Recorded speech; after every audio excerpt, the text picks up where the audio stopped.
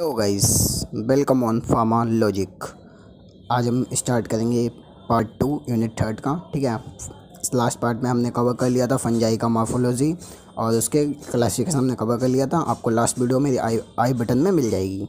ठीक है तो आज हम स्टार्ट करेंगे फंजाई का रिप्रोडक्शन और कल्टीवेशन ठीक है तो आइए स्टार्ट करते हैं। स्टार्ट करने से पहले बता दें, अगर आप हमारे चैनल पर नए हैं तो प्लीज़ सब्सक्राइब करें शेयर करें और कमेंट करके हमें बताएँ, अगर आपको कोई प्रॉब्लम या डाउट हो।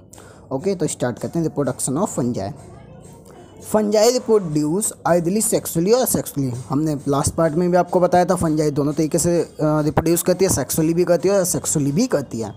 तो आज हम इसमें अलग अलग से पढ़ेंगे कि सेक्सुअली कैसे करती है और असेक्सुअली कैसे करती है. ठीक है तो हम पहले पढ़ते हैं सेक्सुअली रिप्रोडक्शन सेक्सुअली रिप्रोडक्शन कैसे होता है? In sexual reproduction there occurs fusion of two different cells जो सेक्सुअल रिप्रोडक्शन होता है, उसमें दो मतलब कि दो जो सेल्स होती हैं, वो फ्यूज़ होती हैं आपस में। कौन कौन सी सेल मेल और फीमेल की सेल्स आपस में फ्यूज़ होती हैं। ठीक है, जिसे हम कहते हैं प्लाज्मोगेमी जिसे हम क्या कहते हैं? Plasmogamy followed by fusion of two nuclei called karyogamy मतलब जब दो सेल्स फ्यूज़ होती हैं, उसे हम कहते हैं प्लाज्मोगेमी ठीक है, और जब दो न्यूक्लियाई फ्यूज़ होती हैं आपस में तो उनसे क्या कहते हैं? कैरियोगेमी ठीक है as a result zygote is developed with formation of sexual spores ठीक है अगर मतलब कि इसका रिज़ल्ट देखी जाए तो जाइगोट है, वो डेवलप्ड होता है फॉर्मेशन ऑफ़ सेक्सुअल स्पोर्स के साथ, ठीक है? जो कि किसमें? स्पोर्स जाइगो स्पोर्स और ascospores and basidiospores ठीक है?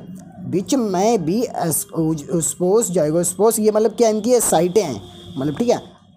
क्या ये मतलब कि as a result zygote is developed with formation of sexual spores जो इनका डाइगोट होता है, वो फॉर्मेशन ऑफ़ सेक्सुअल स्पोर्स से डेवलप करता है विच में भी।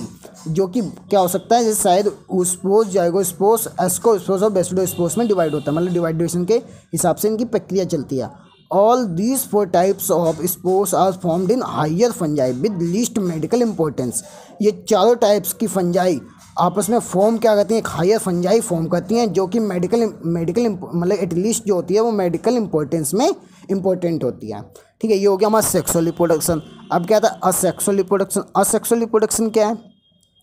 असेक्सुअल रिप्रोडक्शन क्या fungi which are medically important जो फंजाई मेडिकली इंपॉर्टेंट है mostly reproduce by this method जो मतलब कि जो मेडिकली इंपॉर्टेंट जो फंजाई होती है, वो मोस्टली रिप्रोड्यूस होती है इस मेथड से। किस मेथड से? असेक्सुअल रिप्रोडक्शन से।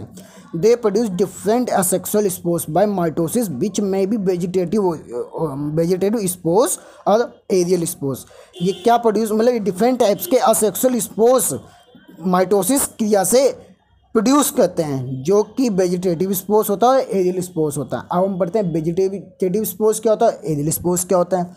वेजिटेटिव में क्या क्या कंटेन होता है? क्या क्या इंक्लूड होता है? ब्लास्टो ब्लास्टोस्पोर्स अर्थोस्पोर्स और क्लेमिडो क्लेमिडो स्पोर्स तो ब्लास्टोस्पोर्स क्या होता है? ये ये मतलब कि ये जो ये फॉर्म करता है बडिंग प्रोसेस से, ठीक है? बडिंग प्रोसेस से। ब्लास्टोस्पोर्स होता है, वो फॉर्म्ड किससे होता है? बडिंग प्रोसेस से form parent cell in the yeast जो ईस्ट की पेरेंट सेल होता है ना, उससे उससे ये फॉर्म्ड होता है, किस प्रोसेस से? बडिंग प्रोसेस से। और अर्थोस्पोर्स क्या है? ये फॉर्म्ड किससे होता है? फेमेंटेशन से। ठीक है, किससे होता है? फ्रेगमेंटेशन से। ये फॉर्म्ड होता है of the ends of hyphae which result in production of rectangular और cuboidal thick walled spores called arthrospores arthrospores हम कहते हैं कि ये भी इसमें बताया गया है। क्या है कि फॉर्म ये फॉर्म किसे फर्मेंटेशन हो गया? और इसकी जो इंड ऑफ़ हाइपी होती है, ठीक है, वो प्रोडक्शन कहती है रेक्टेंगुलर क्यूवाइडल थिक बाल्ड ठीक है, उसका प्रोडक्शन कहती है, जिसे हम कहते हैं आर्थोस्पोर्स ठीक है क्लेमिडोस्पोर्स क्या है? These are thick walled resting spores which develop from hyphae after long dormancy ठीक है दीज आर ये थिक वॉल्ड रेस्टिंग स्पोर्स होते हैं, जो कि डेवलप करते हैं हाइपी आफ्टर लॉन्ग मतलब कि लॉन्ग डमेंसी के बाद ये हाइपी का हाइपी को डेवलप करते हैं। अब एरियल स्पोर्स में क्या है? एरियल स्पेस में कितने? तीन पार्ट है। इसमें भी कॉनिडो स्पोर्स और कॉनिडा ठीक है? फिलो स्पोर्स फाइलो स्पोर्स जिसे हम कहते हैं स्पेरो स्पेरो स्पोर्स ठीक है? तो पहले हम कहते हैं कॉनिडो स्पोर्स और कॉनिडा क्या है? These are the spores which are borne in externally on the side of tip of special hyphae conidiospores ठीक है? ये स्पोर्स जो होते हैं, वो बोन होते हैं externally side of special hyphae के टिप पे। जो स्पेशल आईपी होती है ना, उसके टिप पे, उसके एक्सटर्नली साइड्स के टिप पे वोन होते हैं। क्या? कोनिडा स्पोर मतलब जो कोनिडे हैं, ठीक है, जो कोनिडो स्पोर्स है, ठीक है, उसके स्पोर्स जो कि बोन होते हैं externally on sides of tip of special hyphae पे, जिसे हम क्या कहते हैं? कोनिडो स्पोर्स कहते हैं। जो स्पोर्स जो स्पोर्स स्पेशल आईपी के टिप वोन होंगे, उन्हें हम क्या कहते हैं कॉनिडो स्पोस। और फाइलोस वो हमारा फिल वो क्या कहते हैं फिलोस्पोस क्या है? फाइलोस्पोस दे आर मोडिफाइड कोनिडा ये किससे मतलब ये मोडिफाइड होते हैं? कोनिडा के, जो कि वोन होते हैं at the tip of flask shaped specialized conidiophores called phialo क्या है? फाइलाइड फाइलाइड मतलब कि किस्म क्या कहते हैं? फाइलाइड ही पढ़ते हैं, ठीक है? तो ये जो मोनिफाइड कोनिडा होता है, उसके बोन मतलब ये बोन होते हैं, किसके? At the tip of flask shaped specialized conidiophore जो हमारा कोनिडो फोर है स्पेसलाइड कोनिडो फोर है, उसके फ्लास्क जो मतलब कि अगर हम डायरेक्ट पढ़ें इसको तो हमारा flask shaped specialized specialized conidiophore की टिप पे जो बोन होता है स्पोर ठीक है? उसे हम क्या कहते हैं? फिलोफाइड कहते हैं, ठीक है? अब क्या है हमारा स्पेंजियो स्पोर्स क्या है? दीज आर स्पोर्स फॉर्म बिना सेक लाइक स्पोंजिया ठीक है? ये जो हमारे स्पोर्स हैं, वो सेक लाइक मतलब क्या है? These are spores formed within a sac like sporangium membrane मतलब spongy membrane on the ends of specialized hyphae called sporangiospores ठीक है, इसमें क्या बताया गया है कि मतलब कि जो हमारे जो स्पोर्स जो स्पोर्स स्पॉन्जी मेम्ब्रेन के इंड पर इंड पर फॉर्म्ड होते हैं, उसे हम क्या कहते हैं स्पॉन्जी स्पोर्स अब हम पढ़ेंगे cultivation of fungi cultivation of fungi क्या है? Natural and synthetic types of fungal culture media are commonly used for growth and cultivation of fungi जो हमारे मतलब नेचुरली और सिंथेटिक टाइप से हमारा मतलब कि जो फंगल कल्चर मीडिया है, वो कॉमनली यूज़ होती है ग्रोथ और कल्टीवेशन के लिए। नेचुरल और सिंथेटिक टाइप्स होते हैं, ठीक है? अगर हम नेचुरल मीडिया में देखें तो natural media composed of natural stems मतलब जो हमारे जो नेचुरल मीडिया होती है, वो क्या कंपोज करती है? नेचुरल सब्सटेंस मतलब कि कंपोज करेगी। जैसे क्या होगा हमारा? हल्बी हल्बी कोकस हो गया बुड्डी हो गया स्टेम हो गया सीड हो गया लीव्स हो गया कॉर्न मील हो गया वीट जर्म ओट मील ठीक है? ई टी सी मतलब नेचुरल मीडिया में जो हमारी मतलब की जो फंजाई होती है, वो ग्रोथ करती है। किन किन चीज़ों पे? सीड्स हो गया लीव्स हो गया कौन मील हो गया। आपने देखा भी होगा, बहुत नेचुरल मतलब किसी पे भी देख लो फंजाई हो जाती है। ठीक है? अगर सिंथेटिक मीडिया का हम देखेंगे तो सिंथेटिक मीडिया में क्या कंटेन होता है?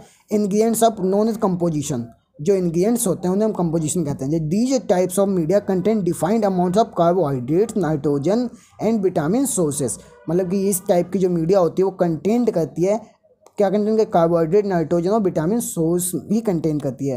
जैसे एग्जांपल क्या होगा glucose asparagine glucose asparagine and neurospora neurosporensia minimal medium ठीक है? इस, ये मतलब कि ये सिंथेटिक मीडिया का एक एग्ज़ाम्पल है। एक सेलेक्टिव मीडिया भी होती है। सेलेक्टिव मीडिया क्या selective media like inhibitory mould agar and dermatophyte test media are important isolation of fungal pathogens such as cryptococcus neoformans and dermatophytes वैसे हम अगर कल्टीवेशन में देखो, हमारे पास दो हैं। एक नेचुरल हो गया और एक सिंथेटिक टाइप्स हो गया। ठीक है? लेकिन अगर हम सेलेक्टिव मीडिया देखें तो सेलेक्टिव मीडिया एक इन्वेटरी मोल्ड अगार और डमोफाइट टेस्ट मीडिया का होता है, जो कि इंपॉर्टेंट होता है आइसोलेशन ऑफ़ फंगल पैथोजेंस जो कि कौन कौन से होते हैं? क्रिप्टोकोकस होते हैं, ठीक है? और डमो डमो डोमिटोफाइट्स होते हैं। सेवर्ड अगार मतलब अब अगार के भी बहुत टाइप होते हैं। सेवर्ड अगार इस type of agar growth medium contain peptones जो, वो अगार जो मतलब कि, जो कौन सा मीडियम कंटेन करता है? पेप्टोन्स का मीडियम कंटेन करता है, उसे सेवर्ड अगार होता है, ये ठीक है। It has utility for research and clinical care ये किसके लिए यूटिलाइज होता है? रिसर्च और क्लिनिकल केयर के लिए यूटिलाइज होता है। It was developed by Raymond Sabouraud इसने मतलब कि इस सेवर्ड अगार का किसने डेवलप करा था? रेमंड सोवर्ड ने करा था। कब करा था? एटीन में करा था। ठीक है? द एसिडिक इसकी जो एसिडिक पीएच होती है फाइव टू सिक्स होती है of traditional Sabouraud agar inhibits bacteria growth ठीक है? ट्रेडिशनल होता है जो सेवर्ड अगार होता है, वो इनविट करता है बैक्टीरिया की ग्रोथ को.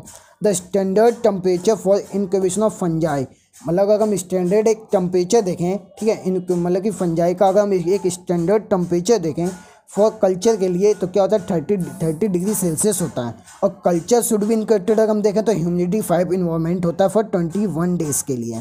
ठीक है? अगर हम इसका मतलब कि culture should be incubated in humidity five मतलब कि अगर हम टेम्परेचर देखें, ठीक है फंजाई का फंजाई का स्टैंडर्ड टेम्परेचर तो थर्टी डिग्री सेल्सियस होगा, ठीक है, अगर कल्चर हम देखें तो कल्चर में क्या ह्यूमिडिटी फाइव इन्वायरमेंट होना चाहिए फॉर ट्वेंटी वन डेज़ के लिए होना चाहिए, ठीक है? They should be inspected daily for at least a week और three time weekly three after ये शुड भी इंस्पेक्टेड होती हैं। मतलब कि डेली फॉर अगर देखें तो मतलब कि एक लिस्ट एटलीस्ट कितना, एक एक वीक लगता है। ठीक है, और थ्री टाइम्स वीकली आप देर आफ्टर मतलब कि तीन टाइम्स उसके बाद भी ये इनको वेट होती रहती हैं। तो हमारा जो यूनिट थर्ड का, जो हमारा मतलब कि अकॉर्डिंग टू सिलेबस था हमारा, ठीक है फंजाई का जो भी हमने क्लासिफिकेशन भी पढ़ लिया कल्टिवेशन भी पढ़ लिया रिप्रोडक्शन भी पढ़ लिया, और मॉर्फोलॉजिकली भी हमने फंजाई का कवर कर लिया। तो ये हमारा चैप्टर ख़त्म होता है यूनिट थर्ड का फंजाई वाला chapter full full cover up हो गया है। अब जो आगे की वीडियो आएगी, वो वीडियो होगी हमारी, इसके ऊपर वायरस के ऊपर होगी ओके थैंक यू